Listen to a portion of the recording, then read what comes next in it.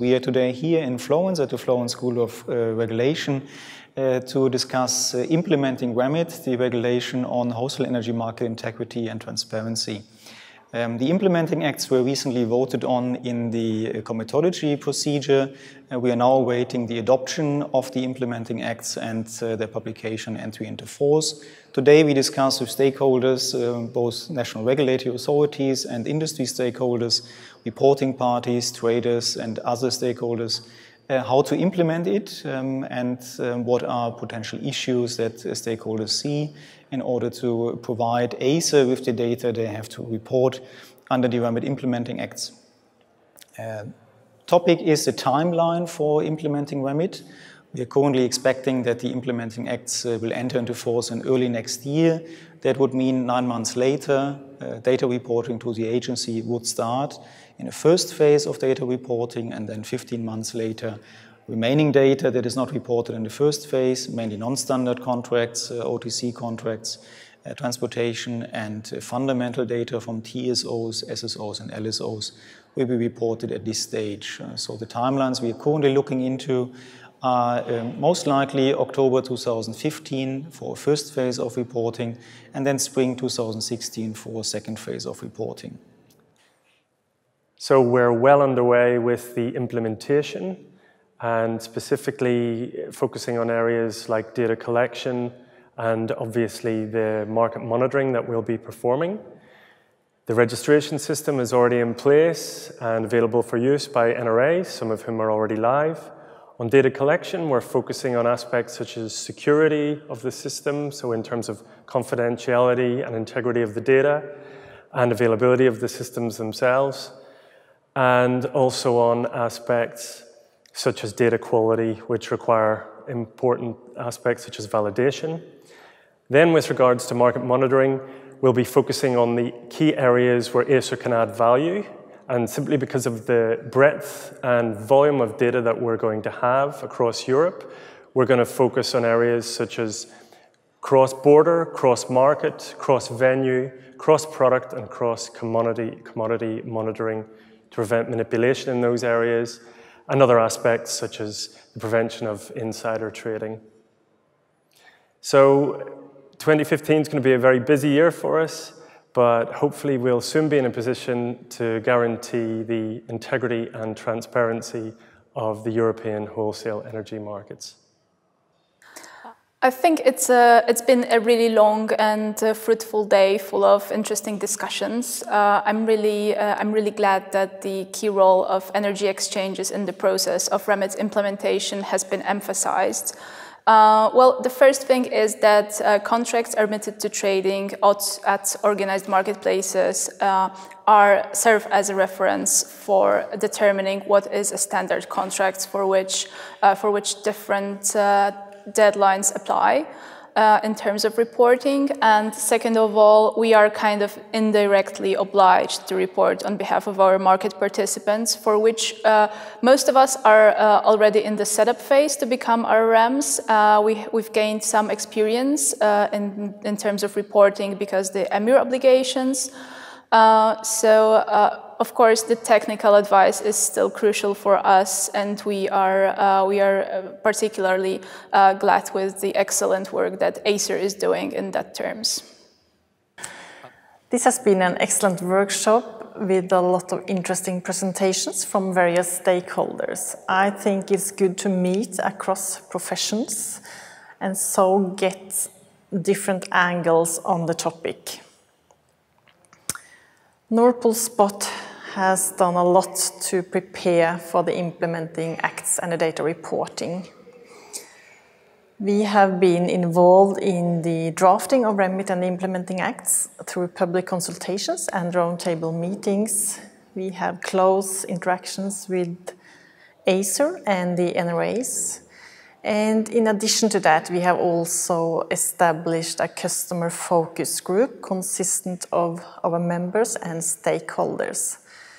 This is the main channel for us to get feedback and input to the design and system development for the data reporting. Spot has an indirect obligation to report on behalf of our members, and we are now in the final stage of developing that service. So I think pretty much probably everyone's heard of Trayport, but just wanted to spend a second talking about what we do in the market. So we, we're, we're a trading platform. We provide a uh, trading systems to wholesale uh, brokers and to energy exchanges, about 30 in total. Uh, they will be uh, organized marketplaces under remit. We also provide a, a, trading system to about 250 of the largest market participants. Um, we, we are a vendor in this uh, implementation, and so we will act on uh, behalf or on the request of those who actually have a, uh, an obligation under remit, uh, primarily the market participants. Saying that, we've been involved in EMIR reporting uh, for the past uh, year or so. We have a lot of experience with reporting um, and a lot of lessons learned we found it to be a fairly uh, time-consuming and uh, human-intensive uh, operation. For as much as it can be automated, uh, things change, APIs change, processes change, uh, trading and contracts change, uh, which creates a quite a significant human in, in, in, involvement and interaction. And so one thing that kind of raises is particularly make one point, the, the RRM model. So I think uh, Remit has, has done a, a, good job, and Acer has done a good job of providing, defining the technical standards to be an RRM. But uh, the fact is, the barrier uh, to be an RM is quite low. Contrast this, for example, to the FSA with the MIFID implementation.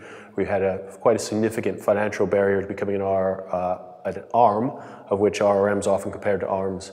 Uh, this created a, a situation where there was relatively few ARMs, so market participants knew uh, where to go to um, to get the reporting done, and it also made sure that the ARMs had a, a, sustainable business model. I think one of the problems we're going to face with Remit is that because the barrier is so low to RMs, there will be a lot of RMs, and then there, will be a shakeout over the coming years as RMs find it's, uh, it's not quite the business that they thought it was or not quite able to cover their costs. Um, so I think this is one of the things we'll, we'll be getting onto. And uh, we're in uh, dialogue with regulators, market participants, and organized marketplaces um, about implementation. If you'd like to get in touch with us, uh, please do. And we're happy to pick up the conversation with you. The objective of efficient regulation is that um, the administrative burden for the energy traders is not too big and also not the cost. Um, we understand it's necessary and we really want to work to cooperate to make it happen. But if we see Dodd-Frank and EMIR, that is not very successful.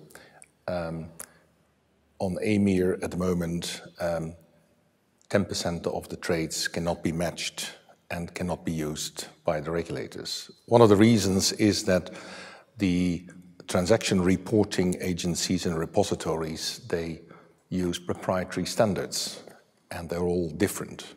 And if you add it on up, that's difficult. So you get different portions with data which you cannot add up. And Acer has still the opportunity to do a much better job by standardization uh, of the data exchange. Volker and his team are doing a very good job, and we want to help him with that. Um, one of the reasons is that Acer is the XML, Acer XML is an abstract from the CPML standard that the whole industry has been working on uh, for the last 10 years to, uh, to make it happen. And uh, the good cooperation is, is making uh, sure that the data exchange will work, although a lot of decisions still need to be made.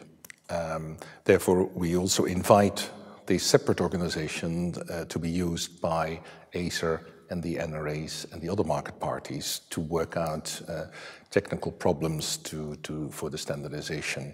For instance, a physical standard forward, there are seven formats in the industry and IT systems can't handle that. We, we need to harmonize that. Um, also, we think it's very good that there are RRMs that can be used by the traders to do the reporting. That means that there is a one-stop shop for the traders so that they maintain kind of an overview what is reported on their behalf. And the fact that uh, Acer is uh, making it uh, possible for that is, is a good thing. So Um, we're critical, but we, we still believe it, uh, it can be done. And uh, we hope that all the national regulators will follow the guidance of ACER in this one. I was very happy to attend today the uh, workshop on REMIT implementation. Uh, everyone is getting excited because we are uh, very close to the operational implementation of REMIT. REMIT was adopted in 2011. The implementing acts um, are in the process of being finalized and adopted, and the operational phase of REMIT will start nine months after that. So we are getting close. Everyone is getting ready. What I brought today to uh, during my presentation at the workshop is, is a presentation of uh, CRE's experience. We've been monitoring markets since 2006. So I shared with the group uh, our experience both in monitoring but also in, um, in the investigation uh, uh, side of, of, the operations and, and provided a global uh, overview of our operations from monitoring to enforcement to sanctions, and inc including its operational aspects and IT. Uh, we, it was very interesting also to share the experiences of other NRAs, to learn from Acer uh, where they stand. They gave a very good overview of, uh, uh, of where everyone stands in terms of REMIT implementation. It was very interesting to, um, to hear from the market participants what were their remaining questions close to the uh, real operational phase. And my uh, uh, final comment would be um, to, to, to, stress that everyone seemed very much interesting, interested in making this a success. Uh, and I think uh, several uh, NRAs commented during the workshop, during my session today, on the fact that it's for the benefit of all stakeholders, and including market participants, that REMIT is a success, is fully operational, and prevents market abuse and ensure fair trading for everyone at the benefit of uh, market participants. So, so I think that was a very positive note, uh, and I, I would like again to stress uh, CRE's commitment to fully contribute to uh, a su successful operational implementation uh, of REMIT. Thank you very much. I'm here today to state the main points of my presentation today in this workshop. They were addressing a very important issue of REMIT implementation and how engaged we are in Portugal in REMIT implementation. We were concerned about uh, some issues that were also the concern of market participants, like double reporting and the costs of implementing REMIT.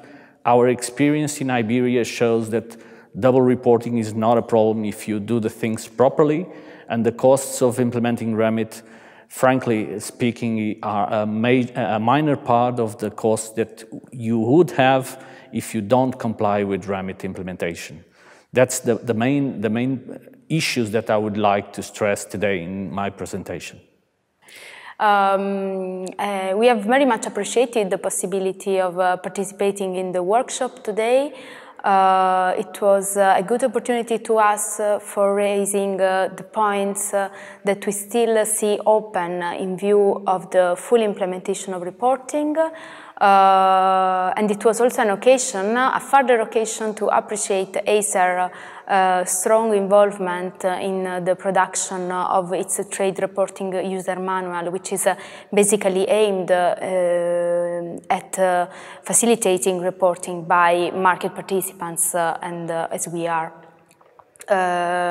The points that uh, we have been raising today, I think I, to mention the, the, major one, there are some process-wise, we have been discussing a lot about uh, double reporting, uh, about the parties involved, uh, and hence uh, large market participants, uh, large final customers, which is one issue still, we all agreed on this, still to be dealt with uh, and a big challenge uh, of, um, for, for all the parties involved, institutional actors and suppliers. And then uh, we had a very interesting uh, talk about uh, uh, the content of reporting and the distinction between standard and non-standard contracts with a, a very deep um, discussion about the specificity of non-standardized contract reporting. Today we had the opportunity to express the views of EDF as a supplier uh, regarding especially non-standardized contracts for which we believe that we need to ensure both an efficient and not an overly burdensome reporting process. There's still a long way to go, both with NRAs and ACER, uh, to have and to achieve actually a good reporting process for the next 15 months and go into in-depth dis discussions. The full implementation uh, success will depend clearly on the awareness of all market participants. That's not only suppliers, these market participants are large customers, TSOs, traders, uh, and all other uh, involved market participants. That's our goal for the next months. Uh, I really appreciate the invitation for the school uh, of the Florence School of Regulation to give up my company to the, give the opportunity to explain how we are working on the implementation of the REMIT. Uh, we have already explained that Gas Natural Fenosa is really committed with the REMIT goals and aims, and we are working to implement the REMIT rules in a very efficiently and timely manner. Uh, we have also stated in, in, in this workshop that as market participants, we see very important to have an stable and uh, a very reliable legal framework regarding the REMIT because involve many obligations for the market participant, and I'm referring uh, especially to the data reporting obligation.